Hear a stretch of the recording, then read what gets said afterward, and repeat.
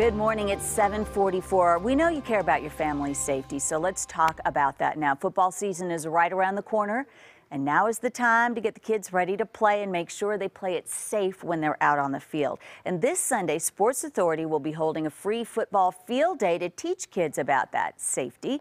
And Tom Chesson from Sports Authority and Wayne Voorhees of USA Football are here to answer all of your questions about safety. Good to see you guys. Hi, how are you? Thank you for being here. Thank Uh, you. I'm doing fine. I'm glad you guys could come over and tell us about this. Let's start with Football Field Day and what this is all about. Yeah, this is the first time Sports Authority has had a field day. We've invited over 700 kids down to Sports Authority Field.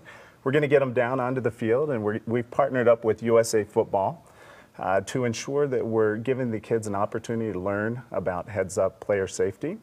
Uh, we've invited about 15 of our vendors in.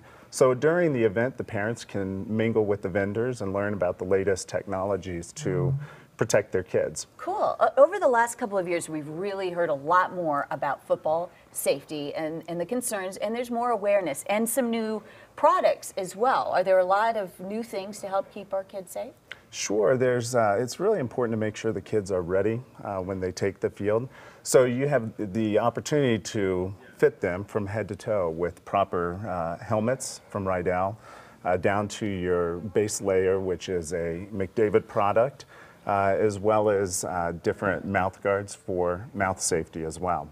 Oh, yeah, that's important. That's something Sure. that the parents don't always think about, too. Look at the mouth guards, they're all different colors and sizes there. Um, so let's maybe fit some shoulder pads, say. How do we make sure our kids have the right fit, Wayne? Well, the important thing here, and, and We have uh, Colin and Carson. Carson. Thank you. I knew it was a C. the important thing, this is a new flat pad. And the new flat pad you can tell based on this strap right here. And basically, this pad is going to absorb the energy, and it's really important that this strap is pretty tight.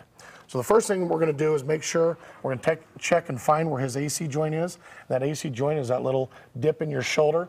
Um, So we're going to make sure that that pad covers the AC joint. Go ahead and lift your arms up a little bit. and make sure that, that this is taken care of. We can measure from shoulder blade to shoulder blade, going over the contour of the back. And all the pads are listed with the information on the front and on the back as far as the shoulder width and also the uh, chest width. Okay, so we want tight. Let's. We've got to move on to the helmet now. So uh, let's talk about some tips for fitting the helmet. The important thing here is as we put on the helmet, we're going to measure uh, the circumference of the helmet or the uh, head, and we're going to make sure that the, that the helmet fits correctly. So one of the things that we're going to do is push on the top of the head and make sure that, that the crown of the helmet is touching all parts of the of the uh, top of the head.